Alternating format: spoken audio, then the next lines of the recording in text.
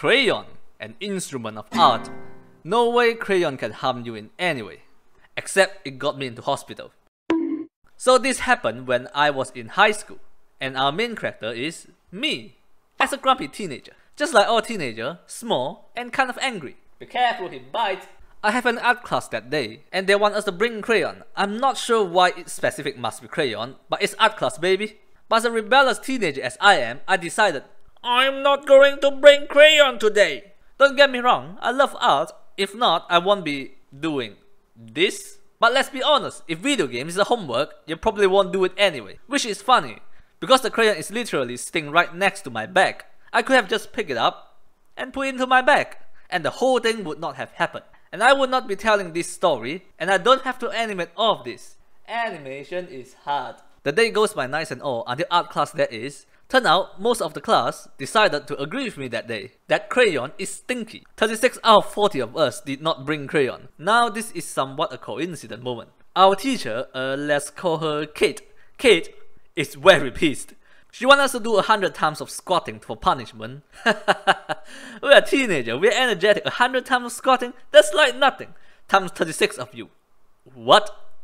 So we have to do 3600 times of squatting. For a normal human being, you would probably refuse to do it and just not do it. But for some reason, we did it anyway. We have to do it in the hallway. I stay in a tropical area, so it's like 30 degrees Celsius outside, and you have no idea how hard we are sweating. Surprisingly, we actually finished all 3600 times, except me. I only did around 2800 times. Yeah, I'm kind of a wimpy kid. After the class, it's recess time. My palms are sweaty, knees weak, arms are heavy, and I want to go to the canteen to get some mum spaghetti.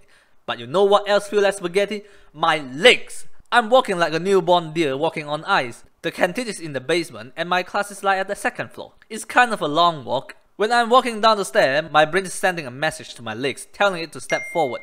But my leg decided to kick myself instead. At the end, I still got my spaghetti. It's good. After that, nothing really happened that day. Day 2, I woke up, I feel some of the worst pain in my leg I ever had in my life. So far, I'm having trouble walking, but in my head, I'm just telling myself it's probably the pain after the extreme leg day. So I still went to the school anyway, and half the class did not turn up. I actually feel kind of proud that day because I'm not as wimpy as I thought. Until evening, that is. I was using the toilet doing toilet stuff, and I realized there's blood in my pee. I would like to draw here, but it's disgusting. I told my parents and we went to the doctor. The doctor said it's probably nothing and it's totally normal. And we went home and everyone lived happily ever after. Except no. Now come think of it, doctor is saying the blood in some pee is totally normal. Yeah, I don't think he's qualified as a doctor. Day 3, I woke up and I'm in full panic mode.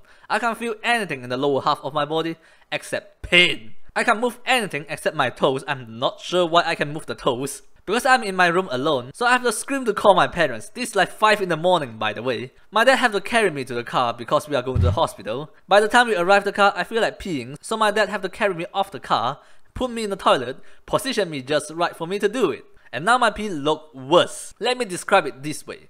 Imagine yesterday is Pink Gin, and today is 8. In the hospital, we did an x-ray scan and turned out all the muscle and blood vein in my legs are all broken. Yep, congratulations. They put me in a wheelchair and told me I have to stay in the hospital. But before that, they have to do some procedure. So they told us to get some lunch and do some packing back home. We had lunch, but instead of going home to do some packing, my parents decided to go to school to meet Kate instead. But you know who doesn't want my parents to meet Kate? The school! So my parents is arguing with the teachers in the school office, and I'm just sitting there, in the corner, not sure what is happening. At the end, we did not meet Kate, and I have to stay in the hospital for about two weeks. After that, I still have to do another two weeks of reha re re re re rehabil re rehabilitation exercise. You know those exercise that War Machine do after civil wars? Yep, those exercise. Basically, I need to teach my legs to walk again. And the story just kind of end there. There's still some positive outcome out of the whole situation. Like I got an elevator pass. Our school is like 11 floors plus 5 floors of basement. And for some reason, the students are not allowed to use elevator. So by having that pass, make me the coolest kid in town, baby! Except no, because everyone's using it anyway. Let's be honest, who would walk 11 floors? And Kate, surprisingly, did not get fired, but she became a totally different person. It's like the Secret Service replaced her with a clone or something.